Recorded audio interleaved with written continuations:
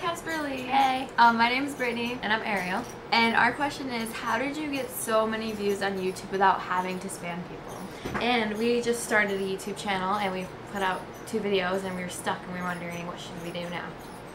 So, we love you. Bye.